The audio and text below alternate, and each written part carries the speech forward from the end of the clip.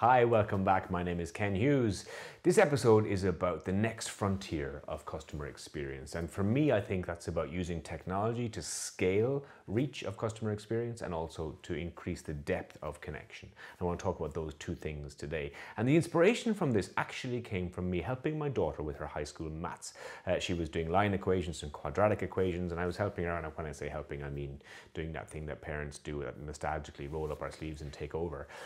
but I was looking at, I became fascinated by how this understanding of, of just dimensions can help us in our customer experience work. So I'm going to bring you all back to maths class. Are you ready? Let's go. And boom, here we are. Now, welcome to maths class. Why do I own a shooter's gown? Let's not ask any questions. And in fact, these are my son's glasses. I can't even see with these, they're too strong. Okay, welcome back to maths class. What are we going to do first? Okay, the first thing we start with is what is known in terms of lines as a single point. This is what we call the zero dimension. So if you were in the zero dimension, you'd just be a dot, an insignificant dot, no height, no width, no depth, just literally a single dot.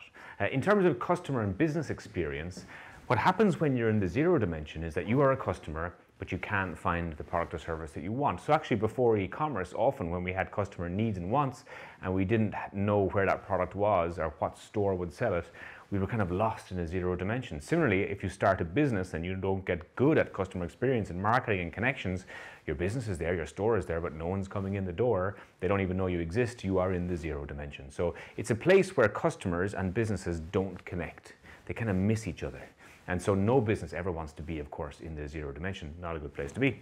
The next thing in terms of geometry is a line. And a line is the connection of two points. There we go, we. It's very simple. And it's what we call the first dimension, one dimensional. So one dimensional life is when you have two points and they're connected in a line.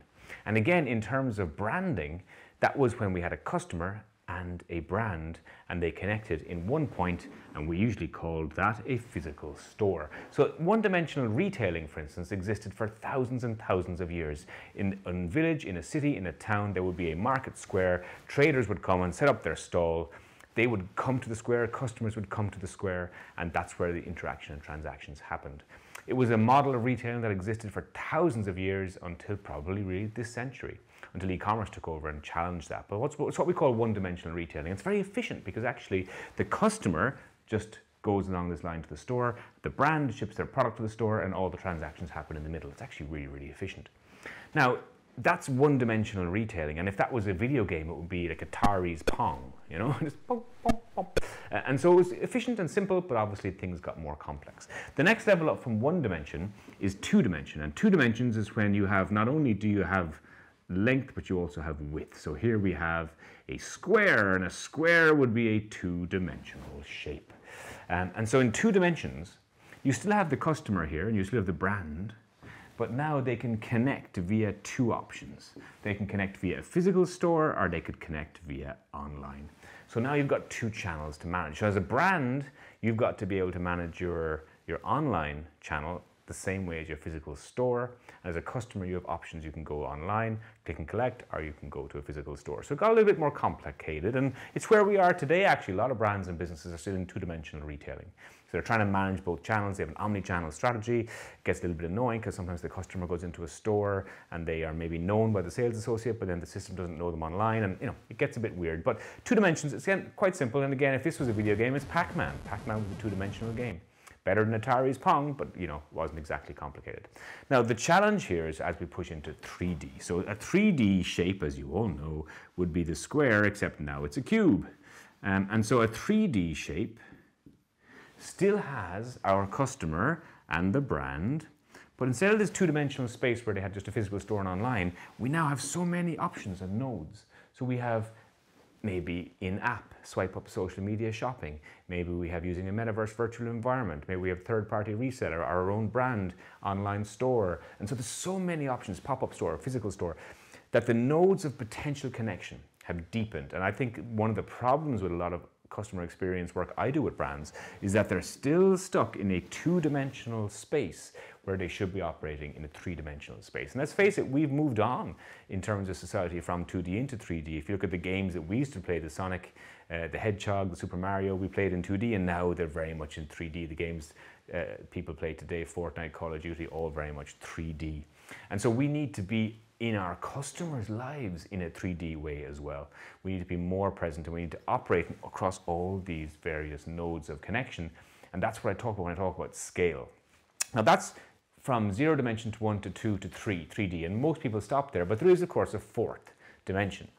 Now, what people, some people argue that time is the fourth dimension, um, and other people, in terms of spatially, argue that the fourth dimension is a shape, and it is a shape, and you're going to learn a new word today in maths class called a tesseract. I'm going to try and draw one really quickly. It's a cube that overlaps with other cubes, so you keep layering cubes onto other cubes. In fact, it'll be easier to show you on screen. Here you go.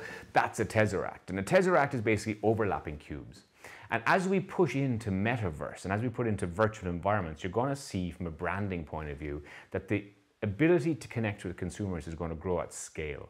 So not only are you going to have three or four or five or six or seven potential nodes of connection, you're going to have 14, 21. They're going to keep multiplying as new virtual environments and new ways of reaching customers open up new channels, new opportunities.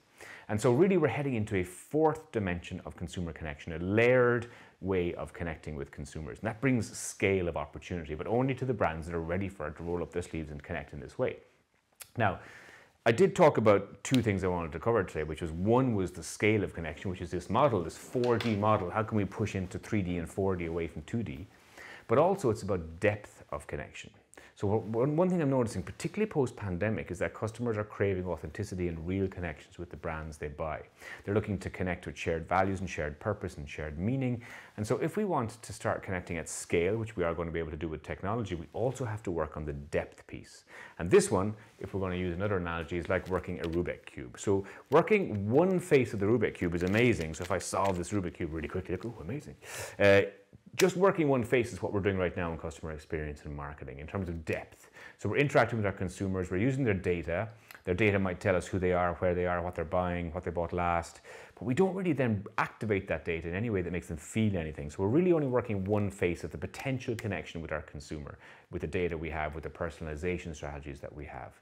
The question, the challenge for you as a business and brand owner is how we can start using the bulk of this cube. Not just using the nine squares here, but using the 54 squares on the cube to really connect with the customer, to solve the entire thing for them and to make them feel special.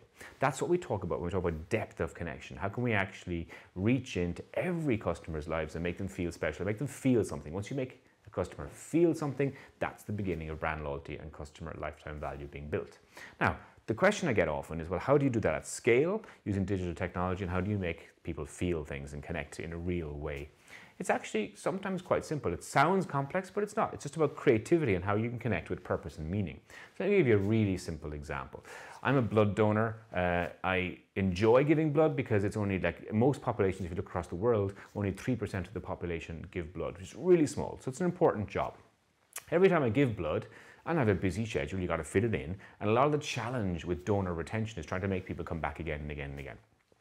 Interestingly, two or three weeks later, after every blood donation I give, I get an SMS text message. So it's not complicated technology, very simple technology from the transfusion board telling me where my blood was used and why.